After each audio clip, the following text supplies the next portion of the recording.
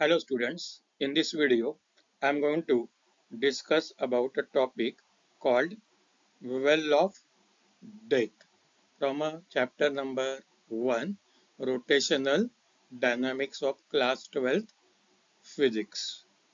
Basically I am going to talk about how to derive the expression for the minimum velocity over here. देखो बच्चों, हम लोग derivation बोलेंगे तो हम लोगों को डर लगता है। बट जितना डिफ़िकल्ट लगता है ना, उतना ये डेरिवेशन डिफ़िकल्ट है नहीं। अभी आप समझ जाओगे। Just see first thing is what we have to draw the diagram as shown over see this is a wall now there are three forces one is normal reaction this is acting towards the centre second one is the weight M G acting downward and third force is the force of friction F S तो सबसे पहले आपको क्या याद करना है कि diagram याद करना है डायग्राम में आपने क्या ड्रॉ किया वही आपको आगे चल के डिस्क्राइब करना है just see there are four or five sentences in which I am going to describe all these things. See, the first sentence is what? Vertical cylindrical wall of radius r inside which vehicle is driven in a horizontal circle. Now the forces acting on the person are mg, the weight over here acting downward, n, normal reaction acting towards the center. अभी circular motion में centre के तरफ काम करने वाला forces centripetal force therefore it must be equal to what centripetal force and third one is a force of friction fs this is what parallel to the wall And in upward direction ये बोलना नहीं है। अपने को याद रखना है कि एफ़ एस कैसा है?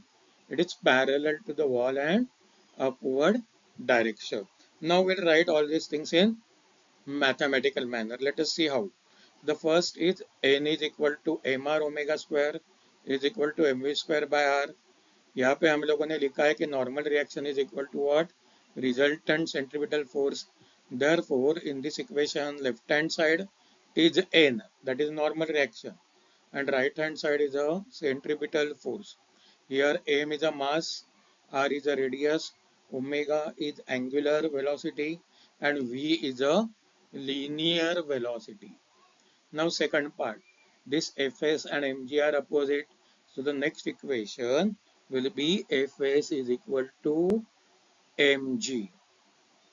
Now this Fs and N has certain relationship between them वो अपने को लिखना है so force of static friction is always less than or equal to mu s n where mu s is a coefficient of friction and n is a normal reaction now we'll write it in mathematically therefore f s is less than or equal to mu s n this is equation number 3 देखो यहाँ तक बच्चों समझ में आ गया बहुत simple है। सबसे पहला स्टेप क्या है? डायग्राम ड्रॉ करना है। ये तीन एरोज आपको बोलना नहीं है।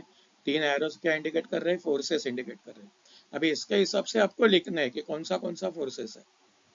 अभी next part is there equation अभी ये इक्वेशंस को हम लोग कंबाइन करेंगे। एफ़ एस के जगह पे I will write over here M G और नॉर्मल रिएक्शन के जगह पे I will write M V square by R तो वन टू थ्री को कंबाइन करके मुझे क्या मिलेगा? M G is less than or equal to mu S M V square by R देखो, मैंने क्या किया? एफ़ एस के जगह पे सेकंड इक्वेशन में से एम जी लिखा और नॉर्मल रिएक्शन की जगह पे मैंने फ़र्स्ट इक्वेशन में से M V square by R लिखा। अभी नेक्स्ट स्टेप क्या हो जाएगा? M and M will get cancel so I will get G is less than or equal to mu S V square by R बाकी का जो बचा हुआ क्वांटिटीज है, वो हम लोगों ने लिखा। अभी हम लोग क्या करेंगे? I multiply this by R ये जी को मैं आर से मल्टीप्लाई करेगा और म्यू एस से डिवाइड करेगा।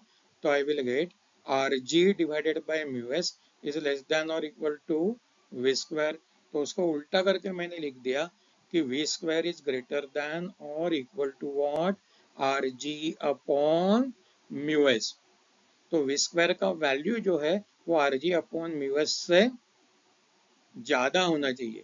तो मिनिमम वैल्यू कितना? इक्वल टू होना चाहिए। मिनिमम वैल्यू तो v का value will be the square root of this तो अपने को मिनिमम v का वैल्यू कितना मिलेगा?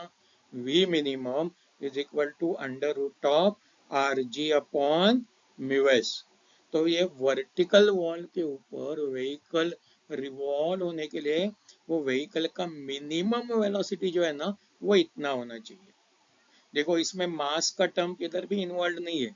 मतलब वो व्हीकल का मास कितना भी रहेगा तो भी ये वेलोसिटी सेम रहेगा। It is independent of the mass of the vehicle इससे वेलोसिटी ज़्यादा है तो कोई प्रॉब्लम नहीं बट इससे वेलोसिटी कम नहीं होना चाहिए।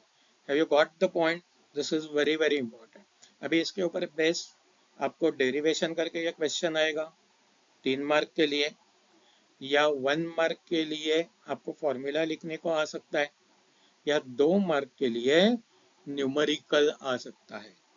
मेरा नेक्स्ट वीडियो में इसके ऊपर बेस जो न्यूमरिकल है that is what I am going to discuss over here तो बच्चों, आपको ये वीडियो कैसे लगा?